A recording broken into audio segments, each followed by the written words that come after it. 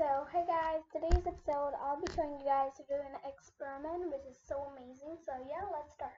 For this, you'll need a jar, uh, a glass jar, some baking soda, um, 4 tablespoon oil, some lemon juice, or you can either take um, vinegar and uh, food coloring and color. So, let's start. So in the jar, first I'm gonna add some baking soda.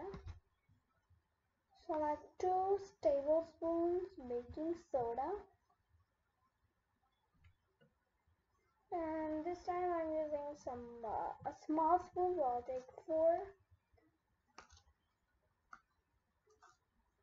Four spoons of baking soda. After adding the baking soda, I will be um, adding the oil. Slowly I'll add the oil. The whole glass of oil. Then I'll be adding um, the food coloring.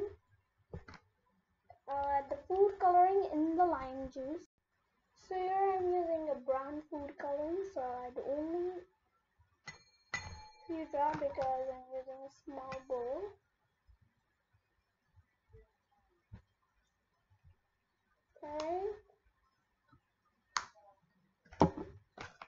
I'll mix it up.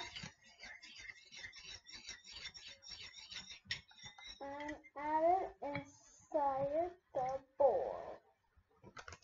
So as you can see, it's forming some bubbles.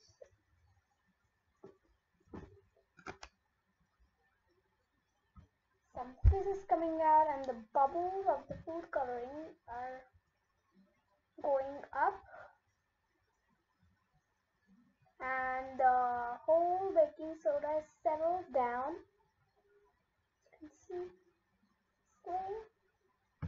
and if you try to mix them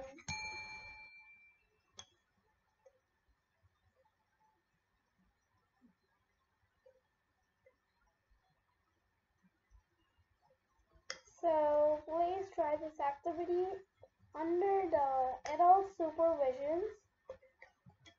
So yes. Bye guys, thank you guys. If you like this video, don't forget to give a big thumbs up. Please don't forget to like this video.